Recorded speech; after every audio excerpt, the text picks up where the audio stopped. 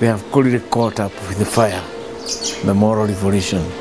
And the fire is actually moving everywhere. Everywhere. It's going to move all over the world. Everywhere in Kenya, they're asking, when will the moral team come and teach us these things? These are things that have never, have never been heard before. So we teach about sex, sex and God. We talk, we talk about sex and identity. We talk about restoration. We talk about you know forgiveness because once you are in it, you need to forgive yourself and understand that you are forgiven. After we introduced moral revolution, we have seen people turning away from these things and saying, "Oh, now we know the truth.